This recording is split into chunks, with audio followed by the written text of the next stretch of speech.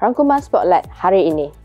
Lembaga Pengampunan Cadang Najib habiskan hukuman penjara menurut Syafi'i. AMK minta Akmal Saleh henti serangan terhadap rakan kerajaan perpaduan.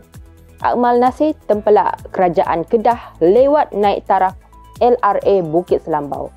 Insentif awal untuk penjawat awam pesara dibayar 23 Februari menurut PM.